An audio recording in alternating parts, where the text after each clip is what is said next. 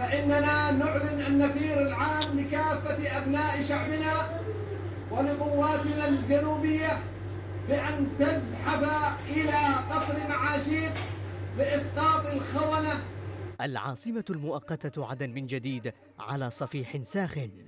تهديد وتصعيد عسكري للمجلس الانتقالي الجنوبي المدعوم من الإمارات الذي دعا للزحف واقتحام معاشيق في دعوة صريحة منه لإعلان الحرب على الشرعية والإطاحة بها.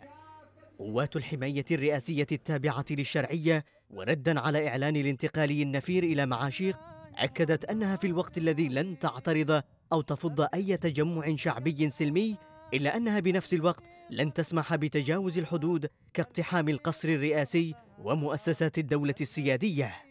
ملامح جولة صراع جديدة بين قوات الانتقالي المدعوم من الإمارات وبين قوات الحكومة الشرعية كتلك المواجهات الدامية التي حصلت في يناير من العام الماضي حين فشلت محاولة الانتقالي الانقلاب على الشرعية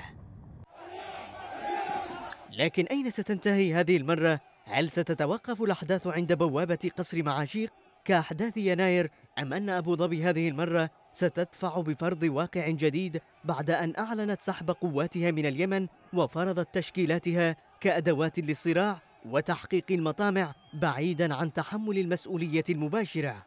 سيناريوهات مجهولة في عدن ومصير غامض للساعات القادمة. هلع شعبي وخوف من أن تقع المدينة من جديد في مستنقع الصراع الداخلي؟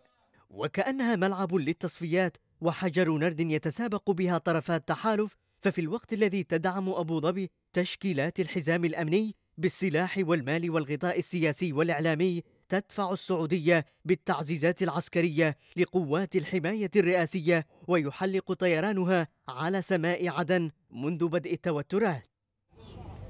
في مديرية كريتر شيع ضحايا هجوم معسكر الجلاء واندلعت اشتباكات في محيط قصر المعاشيق بين قوات تابعة للانتقالي وأخرى تابعة للشرعية. اشتباكات بمثابة إنذار لتدارك الوضع قبل الانفجار واندلاع اقتتال أهلي في معقل الشرعية وعاصمة البلاد المؤقتة.